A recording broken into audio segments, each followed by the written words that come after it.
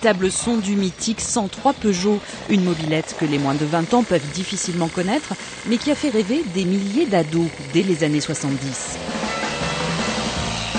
Les 103 ont aujourd'hui vieilli, les ados grandi, mais certains s'offrent encore une petite virée, parfois pleine d'imprévus. Et il y a toujours une petite panne, toujours des petits réglages. hein. Il faut que tout soit synchro, tout fonctionne bien. Et après, voilà, c'est un réel plaisir. Quoi. C'est, euh, on met les mains dans le cambouis, petite mécanique, c'est son petit jouet personnel. Vous passez du temps dessus? Oui, énormément. D'ailleurs, madame, elle est pas très contente des fois.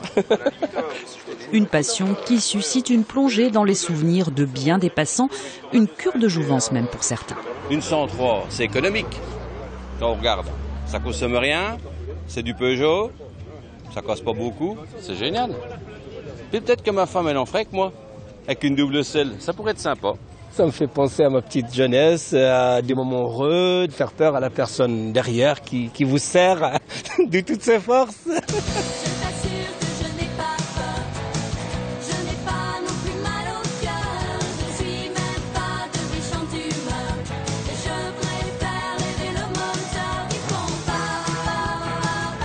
Et c'est vrai, il y a quelque chose que j'apprécie énormément, c'est le regard des gens dans les rues. Il y a, à travers ce, passage en mobilette, on voit une nostalgie. Des fois, ça m'arrive de me faire accosser dans la rue en me disant Tiens, ça c'est, euh, j'avais la même quand j'étais jeune, ou ça me rappelle l'époque de mon 103, tout ça. Donc, euh, la nostalgie. Une nostalgie qui pourrait fédérer de nouveaux adeptes autour de ces mobbeurs catalans.